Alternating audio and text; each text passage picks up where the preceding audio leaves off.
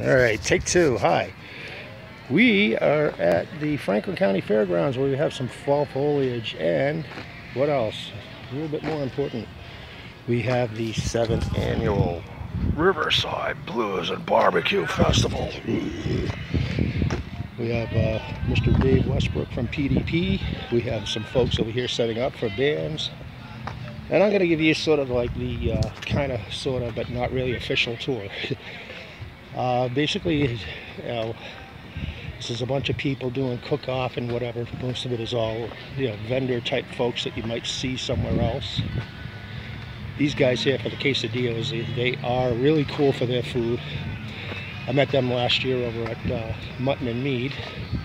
And then as we go down, we have other people. You can see them all set up. None of them are really vendor vendors, although some of them might be. But uh, most of them are all here to try to get their barbecue somehow judged and get like a nice little trophy and whatnot.